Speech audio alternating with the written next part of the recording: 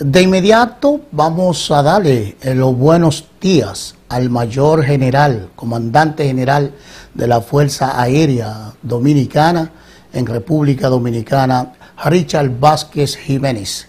Eh, buenos días, bienvenido mayor general, ahora Luciano con la verdad en las manos. Buenos días, Luciano Vázquez, mi querido primo, un placer eh, estar conversando en el día de hoy con usted y eh, que me haya invitado a su tan visto programa. Bueno, primo, yo vamos a tratarlo de primo, vamos a tutearlo.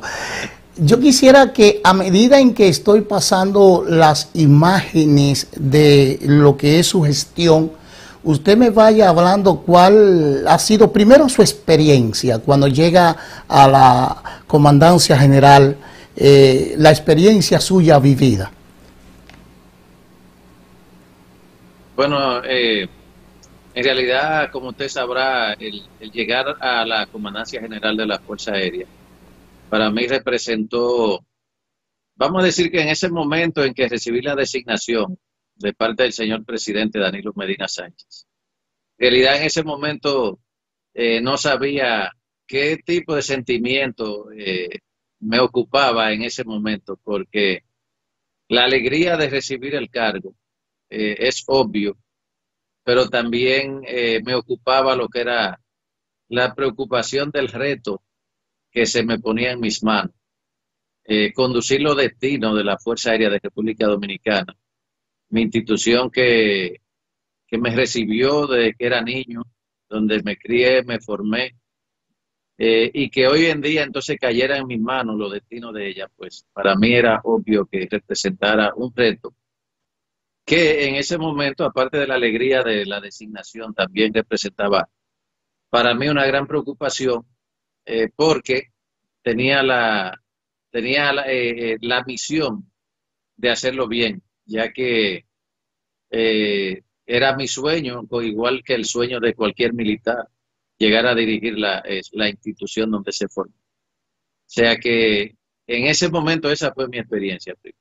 Eh, antes de esa experiencia, eh, primo, a su temprana edad, a su temprana edad, ¿con qué soñó Richard Vázquez?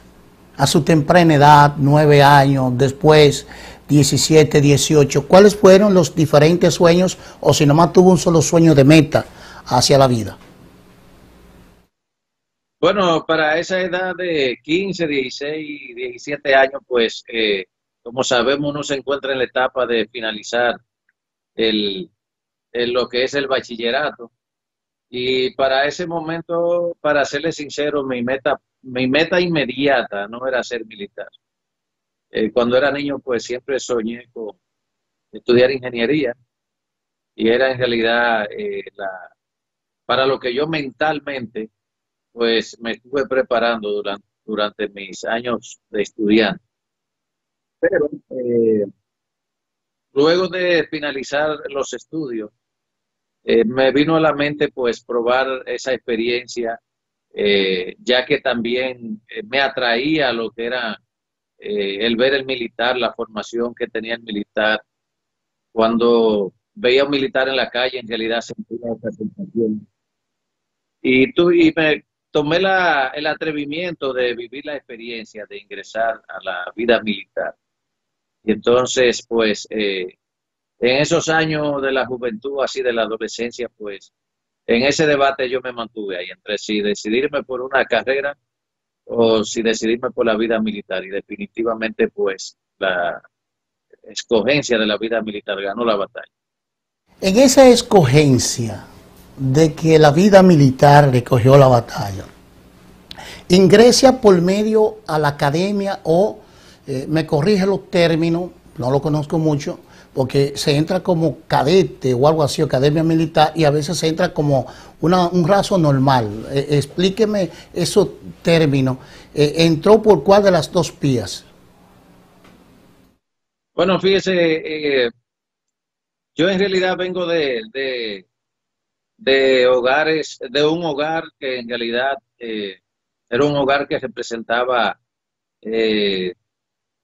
que representaba que no teníamos así muchos recursos para costear lo que era mi carrera, que precisamente pues por eso opté por la carrera militar, eh, porque en realidad mis padres no tenían los recursos para eh, pagarme mi universidad.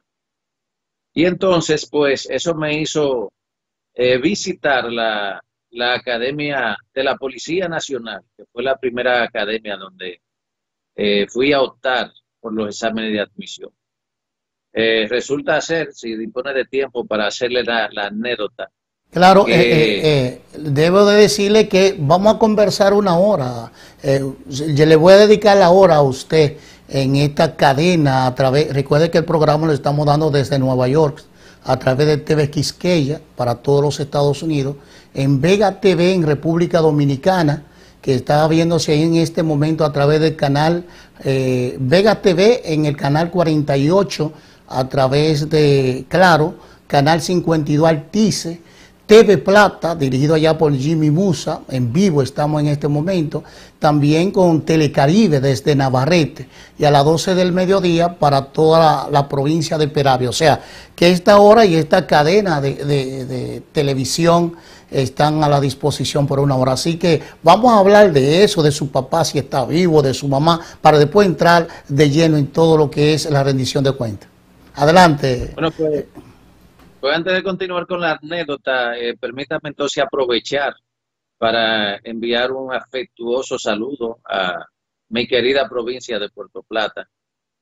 Y además de eso también a toda la ciudad de Nueva York, donde pues eh, residen eh, gran parte de mis familiares. Pues quiero aprovechar para enviar ese saludo. Entonces, para continuarles con la anécdota, pues como nota graciosa, resulta, resulta que cuando fui a tomar los exámenes de admisión en la, en la Academia de la Policía Nacional, pues eh, habían tres, tres requerimientos sine qua non. El primero era tener 18 años de edad. El segundo, tener 130 libras.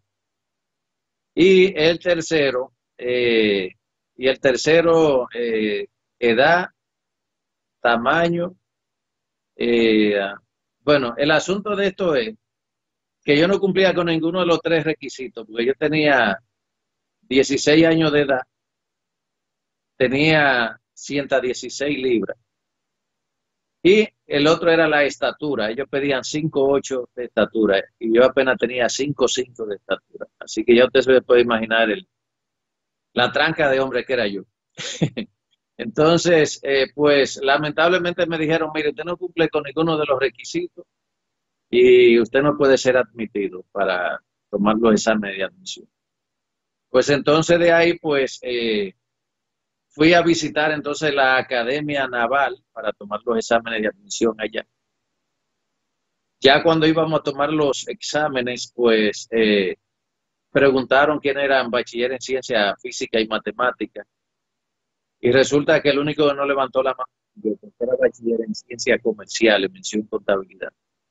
Y ese fue el motivo también por el cual no tuve, no pude tomar los exámenes de admisión en la escuela naval. Y luego me fui a la academia Batalla de la Carrera, donde se evaluaban los cadetes tanto del Ejército Nacional como de la Fuerza Aérea. Y en los, luego de pasar todos los exámenes de admisión, en los exámenes de evaluación médica, pues eh, allí salí con una escoliosis, que era una pequeña desviación en la columna, cosa que era corregible, eh, que no tenía ningún tipo de dificultad. Pero también fue la causa por la cual no pude tampoco ingresar a la Academia del Ejército ni de la Fuerza Aérea. Entonces, eh, ahí viene para contestar su pregunta. Pues como yo no tenía ningún tipo de coyuntura en ese momento que me pudiera ayudar, pues entonces yo opté a evaluarme para ingresar como conscrito. Y así lo hice nuevamente en la Policía Nacional, en la Armada, en la Fuerza Aérea en el Ejército. Entonces definitivamente fui aceptado en el Ejército Nacional como aspirante a conscrito. Pues desde allí entonces, eh, mientras me encontraba pasando los entrenamientos a lo que le llamamos el centro, entonces, eh, pude optar nuevamente por evaluarme en la Academia Batalla de la Carrera. Ya siendo militar, pues eh, tenía ya otra consideración y eh, ya mi recomendación era yo mismo como miembro del Ejército Nacional. Entonces así pude ingresar a la academia, batalla de la carrera como cadete del ejército. Entonces ya como cadete de tercer año, pues fui transferido para la Academia de la Fuerza Aérea, la Academia General de Brigada Fran Andrés Felipe Miranda, pues que fue donde ya salí egresado como segundo teniente piloto de la Fuerza Aérea de República Dominicana. Eh, fue entonces eh, lleno de, de, de, espina, de piedra, de escollo para poder cumplir con un sueño. Entonces, Richard, eh, a los amigos y amigas que, que me excusen por, porque no lo trato como, como bueno, vamos a tratarlo como mayor general, olvidemos lo que somos primos y todo eso para darle su rango. Entonces, fue... como, como más cómodo. Entonces, fue difícil. Eso lo hizo entonces eh, perseverar y, y cumplir ese sueño. Todos esos escollos, todas esas situaciones. ¡Wow! Qué difícil para una gente se vence antes de llegar y dice, no voy a joder con esto más. Bien, eh, así es, eh, son eh, de las dificultades que uno eh, tiene para uno lograr la meta, pero en realidad para mí yo hago esa anécdota en público con mucha honra y lo hago con mucho orgullo porque es, es una forma de yo presentarme ante los jóvenes hoy en día para que ellos sepan que las metas cuando uno se las propone no son tan fáciles de lograr, sino que tienen eh, sus dificultades, pero que en esto lo que prevalece es la perseverancia, el deseo, la fe en Dios y la dedicación también en consecución de, esa meta que uno se traza. Por eso yo lo hago con mucha honra eh, y lo cuento como anécdota para que le sirva como ejemplo a la juventud. Que se vea que no es fácil. Su padre, su madre, en esos momentos de comienzo, ¿qué hablaban? ¿Qué pensaban? ¿Qué le decían al hijo? Eh, fíjese, eh, principalmente mi padre, eh, que era la persona con la que para esa edad yo convivía. mi padre era muy celoso de, mis estudios. para él eso estaba por delante de cualquier cosa. Y fue un momento a la hora de yo decidir ingresar al Ejército Nacional como raso. Para mí fue un momento eh, que me trajo, vamos a decir, que cierto conflicto con mi padre, que Dios lo tenga en gloria. Porque en ese momento eh, él estaba luchando con mi, con mi edad de mi adolescencia, que es donde usted sabe que uno empieza pues eh, a tener sus amoritos, como dicen. Y entonces él tenía el temor de que al yo ingresar como, como soldado, como, como conscrito, eh, él tenía el temor de que yo optara por dedicarme a, a, a casarme, a tener hijos que mis estudios se fueran a perder. Eh, pero desde niño, pues, eh, la forma que él me crió, la forma que él me educó, desde niño yo todo el tiempo tenía un pensamiento, vamos a decir, muy adulto. Y para ponerle término a ese conflicto, pues eh, recuerdo que yo le dije a él que yo le iba a demostrar que mi decisión de ingresar al ejército no tenía otra razón más que no fuera la búsqueda de mi superación personal. Y a lo mejor ese reto que, que yo le hice a él pues eh, me fortaleció más y ya yo tenía eh, el reto personal también de no quedar mal ante él, de que él no tuviera que decirme, eh, tú ves, se lo dije que era eso lo que usted buscaba. Entonces, ese reto que yo le hice a él me fortaleció más para yo seguir luchando de mi objetivo y de mi superación personal. ¿Qué rango tenía el mayor general Richard Vázquez cuando su padre muere? ¿Y qué recuerda? ¿Qué cosas, eh, anécdotas positivas recuerda de su padre? Eh, mi, mi, padre eh, murió eh, recién yo ascendido a primer teniente piloto de la Fuerza Aérea. ya para la fecha de mi ascenso, para la fecha de mi ascenso ya él se encontraba en un estado de salud muy deteriorado. Y recuerdo que el día de mi ascenso, yo fui a visitarlo para que él me felicitara. Y recuerdo que en ese momento, cuando llegué a la casa, pues él se encontraba almorzando. Y él me pasó una pieza de carne de pollo que él estaba comiendo. Y me, me dijo, tenga, ese es mi regalo. Felicidades. Y eso yo siempre lo recuerdo con mucho agrado. Y fue prácticamente de los últimos momentos vividos eh, con mi padre en esos días. La parte más triste, ¿cómo, ¿cuál ha sido la parte, el, el, momento más triste de la vida del mayor general Richard Vázquez? Cuéntemela.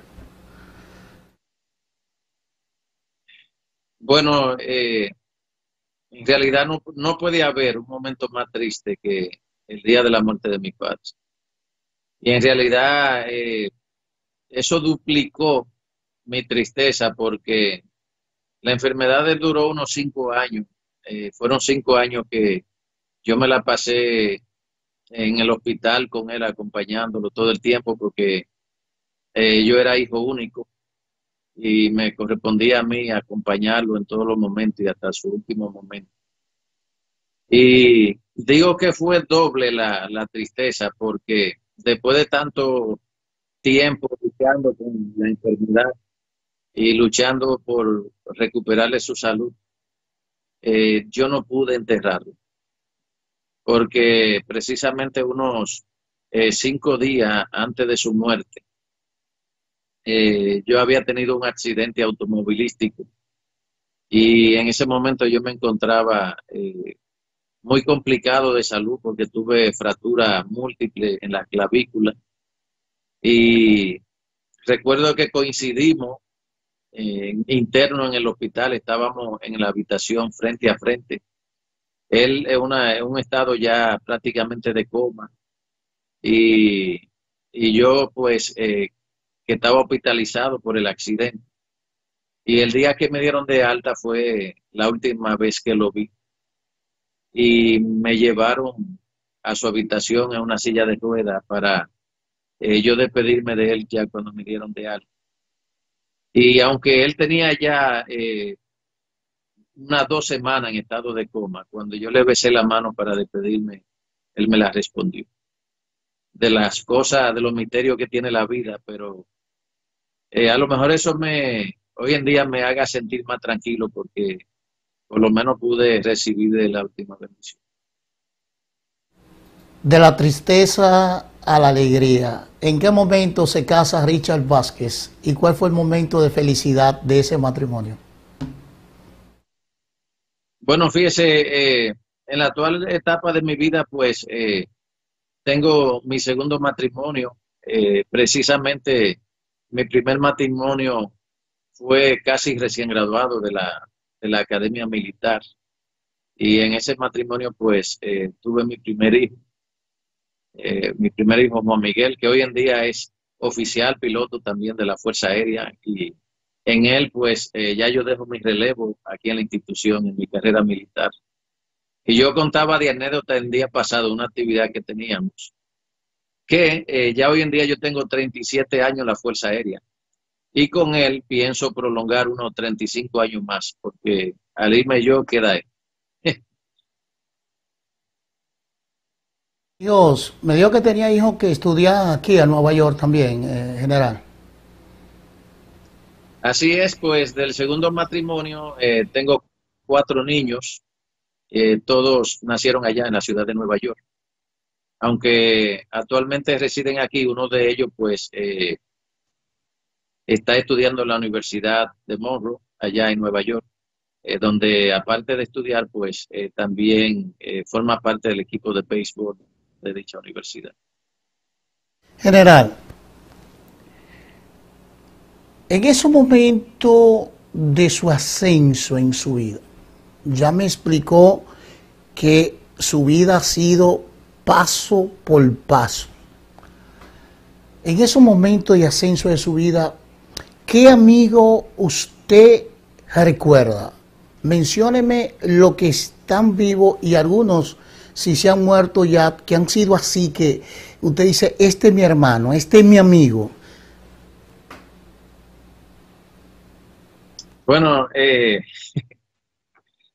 creo que la pregunta más difícil, eh, más difícil que usted me ha hecho, porque eh, en el transcurrir de, no de esta carrera, no de esta carrera militar, sino de, de cualquier carrera que uno asuma y del transcurrir de la vida, no importa cuál sea el oficio, pues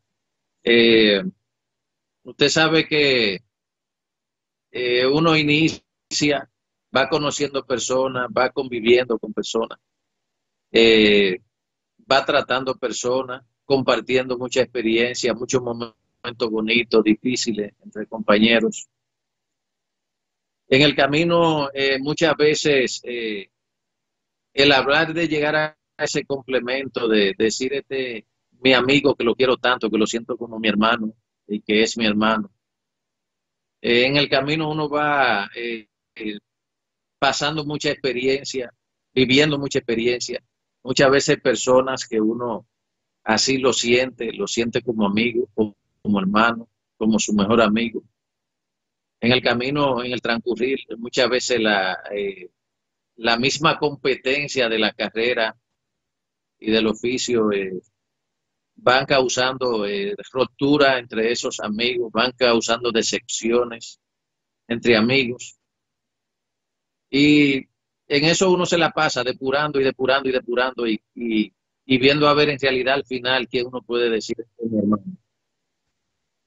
Y en realidad eh, puedo decirle que dentro de mi ámbito de trabajo tengo muchos compañeros que lo quiero mucho, que lo aprecio mucho, que gozan de mi afecto, que en realidad el yo decirle uno en específico, pues eh, para mí sería bastante cuesta arriba, ya que muchos de ellos lo, lo, tengo, así lo siento como, como amigos, como hermanos, como amigos especiales. Así que eh, mencionarle, citarle uno en específico para mí es muy difícil. Quédeseme ahí y vamos a ver Voy a dividir eh, su gestión en audio y video en dos aspectos. Voy a pasar ahora unos cuantos minutos para que usted lo cede tanto los Estados Unidos y Puerto Rico y República Dominicana su gestión. Y después de unos cuatro minutos volvemos a conversar, pasamos a la otra parte y concluimos. Así que vamos a ver parte de la gestión suya y quédese ahí. Adelante, señor director.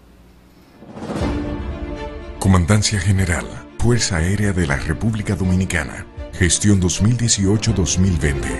Con el entusiasmo y júbilo que genera el deber cumplido, arribamos a nuestro segundo aniversario como Comandante General de la Fuerza Aérea de República Dominicana y al cierre de nuestra gestión 2018-2020, la cual denominamos relanzamiento institucional. Al término de tan honorable misión, queda en evidencia la consecución de innumerables y significativos logros que han impactado en el contexto doctrinal, organizacional, administrativo y operacional de la institución, de los cuales servirán de piedra angular para fomentar su fortalecimiento y desarrollo institucional. Desde el mes de agosto del año 2018, fecha en que fuimos designado como Comandante General de la Fuerza Aérea de República Dominicana, por parte del excelentísimo señor Presidente Constitucional de la República y Autoridad Suprema de las Fuerzas Armadas y de la Policía Nacional, licenciado Danilo Medina Sánchez, asumimos con ahínco el compromiso de dirigir nuestra insigne institución e iniciamos nuestra gestión con una visión centrada en la ejecución de un tesonero y priorizado plan de trabajo que denominamos relanzamiento institucional, el cual se fundamentaría en los siguientes cuatro ejes esenciales. Desarrollo institucional, logro de un alto nivel operacional, búsqueda del bienestar de los miembros de la Fuerza Aérea de República Dominicana y de sus familiares, mejora de las infraestructuras, Mientras pasaban los días, el plan de gestión se iba haciendo realidad, al marcarse nuestra tendencia en la búsqueda del mejoramiento y buen funcionamiento de la Fuerza Aérea de República Dominicana, y en el afán de dar respuestas eficientes a los diferentes tipos de misiones que esta institución ejecuta como parte esencial que representa ante el sistema de seguridad y defensa de la nación dominicana. Esta consideración queda evidenciada en el contenido de las presentes memorias en la cual se presentan los logros que, en tiempo atrás, constituyeron grandes retos. Fueron dos años de grandiosos esfuerzos y aquí están los resultados. Renglón Aeronáutico. Creación de la Escuela de Formación y Capacitación Aeronáutica, ESFOCA. Reubicación y remodelación de las oficinas de la Dirección de Seguridad Aérea y Terrestre remozamiento de los escuadrones de vuelo, formación de nuevos pilotos y miembros de la rama de aviación. Enfocamos nuestros esfuerzos administrativos en el renglón infantería, creación de la Escuela de Formación, Desarrollo y Capacitación Militar ESFODECAM, nuevos escuadrones de la Policía Aérea, búsqueda y salvamento y seguridad ciudadana del Comando Seguridad de Base, remozamiento del Comando Fuerzas Especiales, Todas nuestras acciones estuvieron encaminadas al bienestar, no solo del soldado, sino de su familia. Remodelación del comedor, cafetería, barbería y centro de belleza para las y los alistados. Construcción del Centro de Atención Primaria de Salud para Retirados Fuerza Aérea de República Dominicana. Remodelación del Club para Oficiales. Remodelación de Funeraria Reubicación y remodelación del cuartel para el personal femenino. Reubicación y remodelación del cuartel de mantenimiento aéreo. Remodelación del Centro de Atención Primaria de Salud del Bonito. Creación del Centro de Atención Primaria de Salud Base Aérea San Isidro.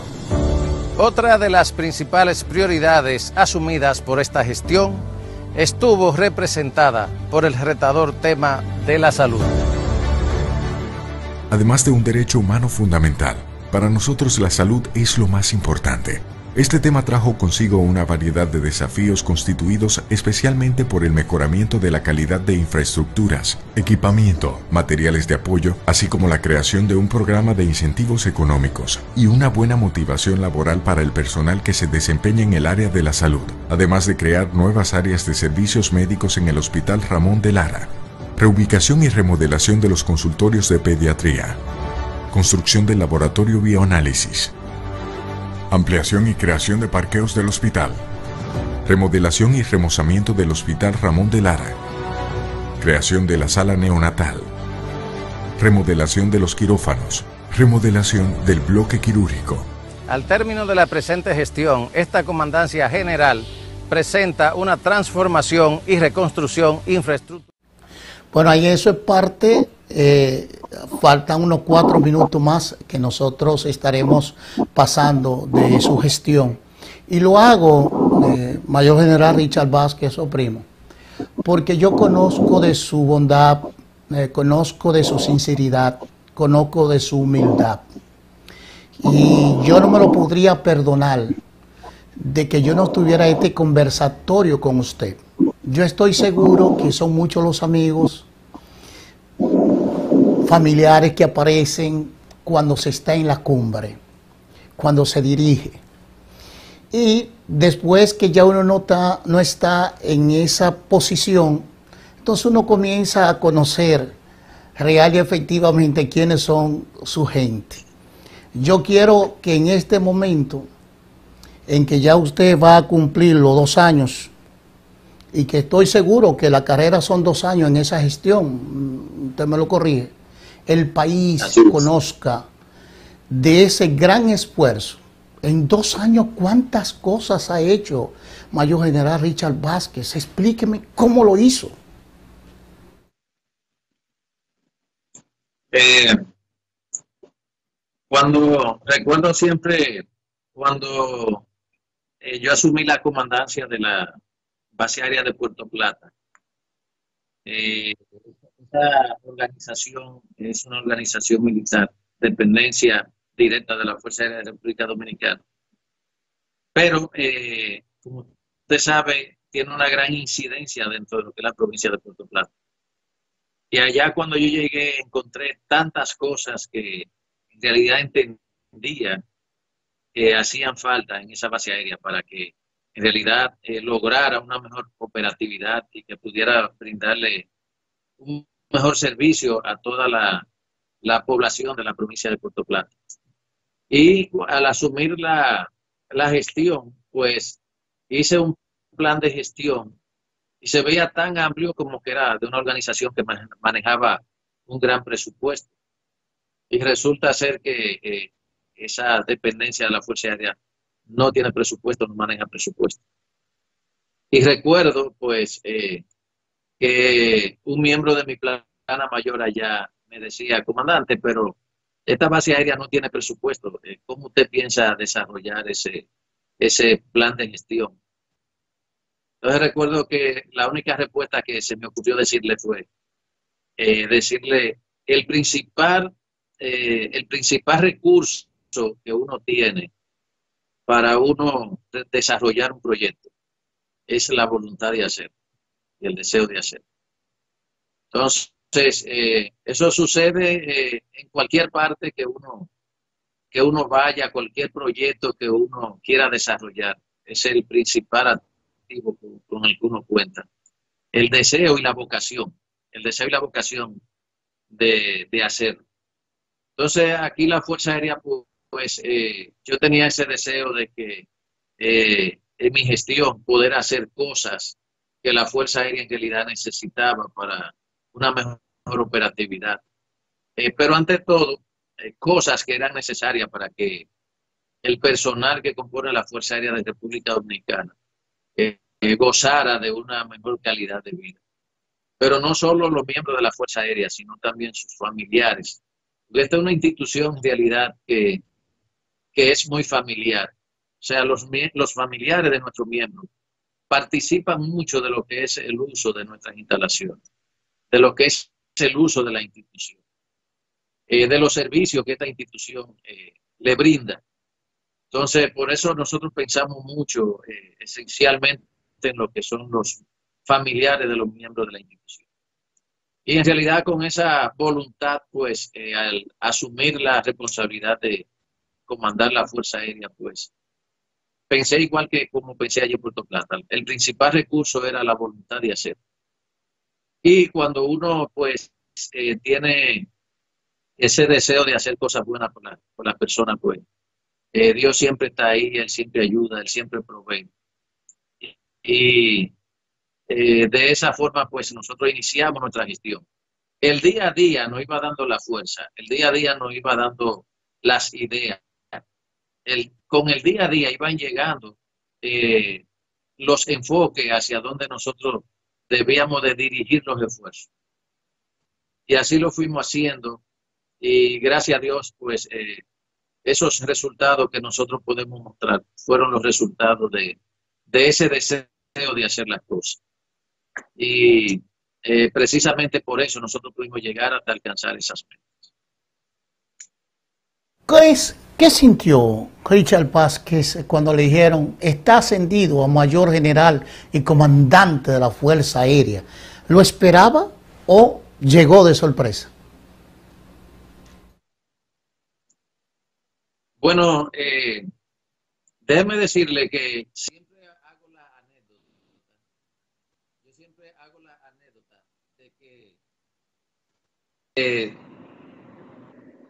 desde, que yo era segundo teniente, siempre pensaba, o sea, siempre tenía como norte, y a veces yo hago esa anécdota y es posible que sea un poquito difícil de creer, pero desde mis inicios de segundo teniente, eh, siempre comentaba que mi sueño era comandar la base aérea de Puerto Plata. Y esa era mi meta eh, dentro de mi carrera militar comandar la base aérea de Puerto Plata. No sé por qué, pero siempre tenía ese sueño, a lo mejor por mis orígenes familiares.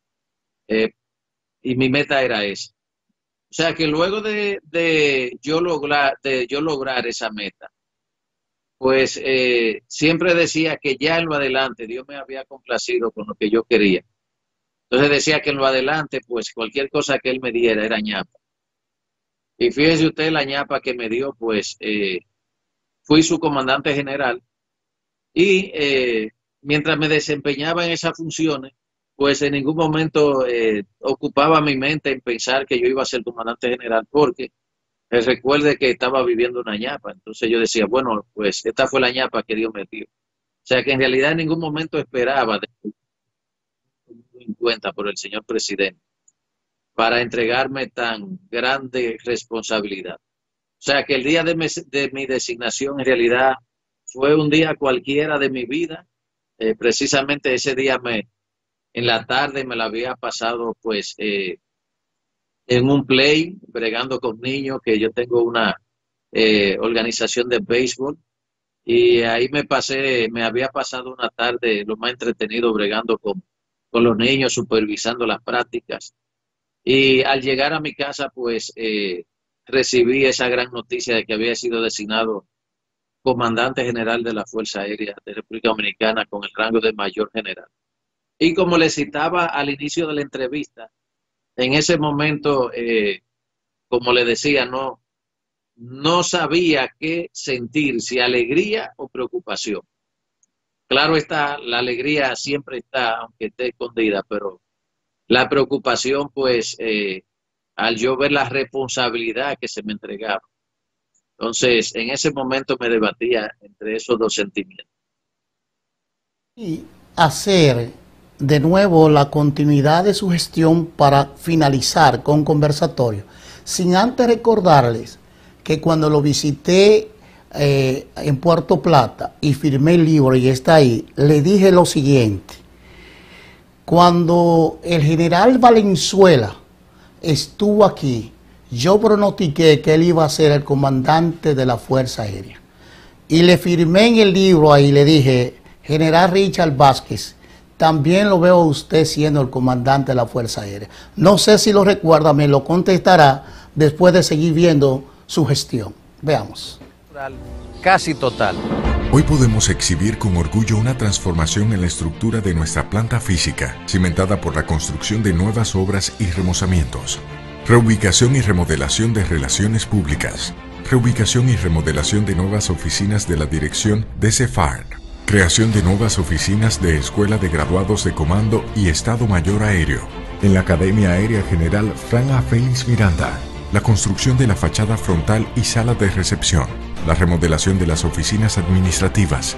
La remodelación del auditorio. La construcción de la piscina semiolímpica. La construcción de la plaza conmemorativa asfaltado de todas las vías de la base aérea de San Isidro, construcción de nuevos parqueos en base aérea de San Isidro, parqueos de acceso norte y parqueos de la iglesia, traslado y remodelación de oficinas de asuntos internos, traslado y remodelación de las nuevas oficinas de enlace y servicio exterior, construcción monumento al comando aéreo, construcción Parque Museo Aeronáutico Fuerza Aérea de República Dominicana, esta gestión también desarrolló un programa de adquisición de equipos de transporte, beneficiando con nuevos vehículos a diversas dependencias de nuestra institución. Una de las formas más nobles que posee la Fuerza Aérea de República Dominicana para dar apoyo a los familiares de sus miembros y a las personas que viven en nuestros entornos es a través del deporte. Por esa razón, en el transcurso de esta gestión se marcaron valiosos precedentes con la construcción de nuevas infraestructuras deportivas y el completo remozamiento de otras ya existentes en las cuales se albergan cientos de niños que día a día disfrutan de las prácticas de diferentes actividades deportivas. Remodelación Estadio de Béisbol Rafael Amable Alvarado. Creación del complejo deportivo Osvaldo Virgil con tres nuevos campos de béisbol. Remodelación y remozamiento del Polideportivo Fuerza Aérea de República Dominicana.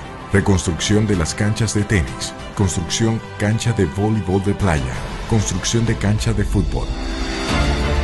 En estos dos años de gestión, múltiples instalaciones físicas de vital importancia para la institución, sus miembros y la población civil que hace uso de ellas han venido a dignificar las labores operacionales, educativas y de servicio de la Fuerza Aérea de República Dominicana.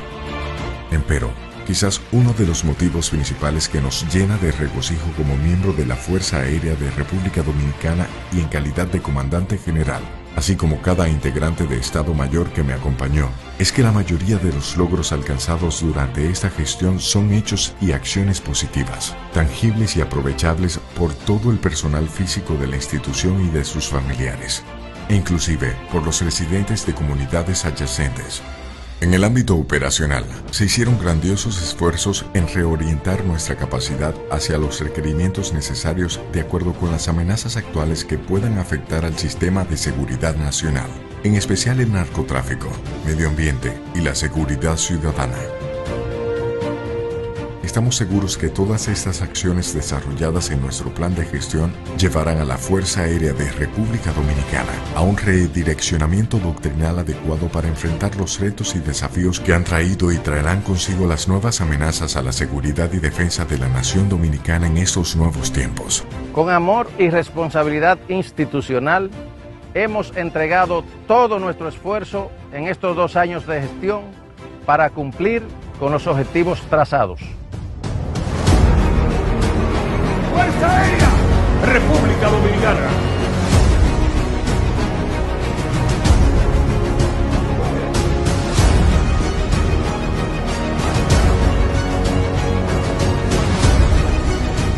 Muchas gracias a todos ustedes los que me apoyaron en esta noble labor en favor de nuestra gloriosa Fuerza Aérea de República Dominicana.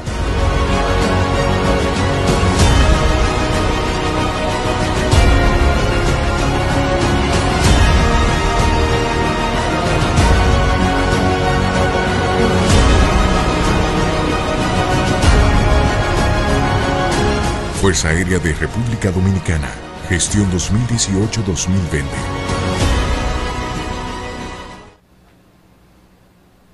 Satisfacción, alegría, tristeza. Eh, vamos a decir que delatré un poquito. delatré un poquito porque eh, satisfacción eh, bastante porque eh, todo lo que, gracias a Dios, todo lo que en realidad yo plasmé en mi plan de gestión que elaboré junto a mi Estado Mayor en el momento que fui designado como comandante general, eh, fue un plan de gestión que se desarrolló en más de un 100%, porque desarrollamos todas las cosas que en él plasmamos y desarrollamos más de ahí. O sea que eh, satisfacción plena, porque en realidad sentimos que nos vamos con el, la satisfacción del deber cumplido. Eh, un poco de tristeza porque en realidad es obvio que eh, ya luego de salir de este cargo, pues eh, así mismo siento que ya finalizo pues mi carrera dentro de la Fuerza Aérea de República Dominicana, porque en ella he durado unos 37 años y es obvio que eh, ya al finalizar este cargo, pues uno finaliza ya eh, todo el trabajo, todo, todo lo, la, la, ilusión al futuro que uno tenía, porque eh, aunque mi meta, como le decía, era ser comandante de la base aérea de Puerto Plata, pues es obvio que uno tampoco nunca nunca desperdicia el momento de uno pensar de si un día llego a ser comandante de mi institución. Y lo logré. Ya luego de este cargo, pues dentro de la Fuerza Aérea de República Dominicana, no hay otro eh, superior a este, o sea que eh, eso le va dejando a uno un poco de nostalgia, saber que ya al finalizar el cargo, pues también uno eh, va despidiéndose ya de lo que es la institución, la Fuerza Aérea de República Dominicana como un miembro de ella. Cuando habla así entonces, retiro o el próximo gobierno podrá enviarlo a una bajada americana como asesor o algo así, o un retiro total general? Usted sabe que nosotros como, como militares que somos, pues eh, siempre pues estamos a la, a la orden de nuestros superiores, a la orden de, nuestros superiores y en ello está nuestro destino. Y sea cual sea, eh, como lo hemos hecho desde que iniciamos esta carrera, pues siempre le hemos encomendado eh, nuestro destino a nuestros superiores. Y sea cual haya sido su voluntad a través de nuestra carrera, pues a ellos nos hemos acogido. O sea que eh, cuando le hablo de que con ellos ya como miembro de la Fuerza Aérea, pues aquí finalizamos, es precisamente a lo que yo le decía. Ya después de aquí, dentro de la Fuerza Aérea, pues eh, no queda nada ya dentro de la Fuerza Aérea, porque eh, ya finalizo eh, de ocupar la máxima posición que es el comandante general de nuestra institución. Y eso también me lleva un poco de nostalgia, porque con ello, pues, ya dentro de lo que es dentro de la institución, finalizo mi trabajo. ¿Cuál es el mensaje que le envía a todos los que fueron sus subalternos y al país en sentido general?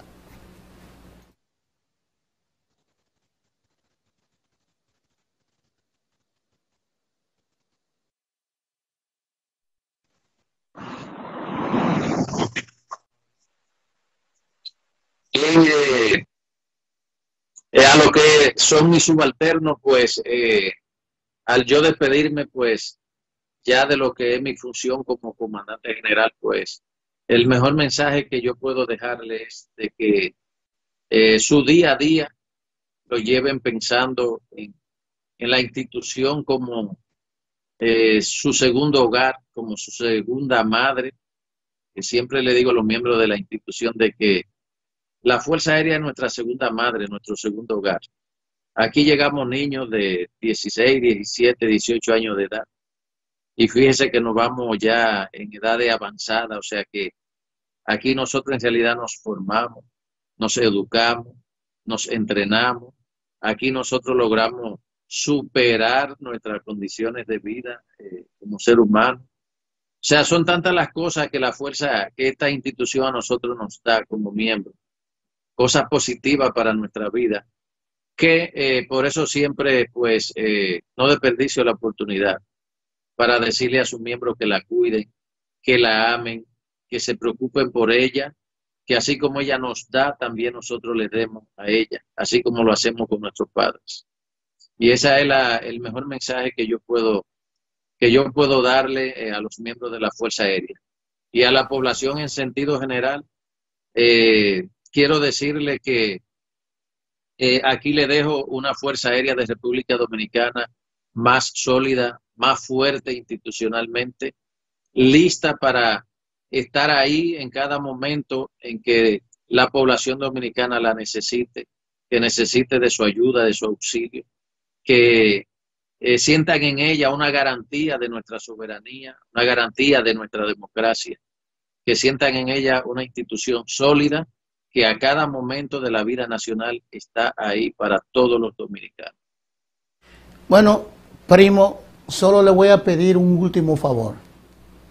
Cuando le toque salir de esa oficina, lo primero que yo quiero que usted haga es, y ya no es una sugerencia, es una orden, llévele flores a su padre al cementerio y dele las gracias. Bueno, fíjese, déjeme decirle que lo voy a hacer, lo voy a complacer, pero eh, permítame hacer algo. No sé si usted puede ver allá al fondo algo. Sí, claro que sí. ¿Puede ver? Sí, lo puedo ver. Esa, esa es la fotografía de mi padre que a cada segundo, o sea, desde el mismo día en que entré a este cargo, hasta el día en que yo salga, él ha estado aquí conmigo acompañándome éxito. Cuente conmigo en lo que sea y a partir de ahora lo buscaré más. Mi cariño, aprecio siempre para usted. Lo quiero, primo, y nos vemos un día de esto por allá, por Nueva York, o cuando usted venga, llámeme y nos vemos y nos damos un fuerte abrazo. Gracias. Gracias a usted. Bueno, señoras y señores, estuvimos conversando con el mayor general eh, comandante general de la Fuerza Aérea en la República Dominicana, Richard Vázquez Jiménez, en su gestión, como un Vázquez, cumpliendo como debe ser.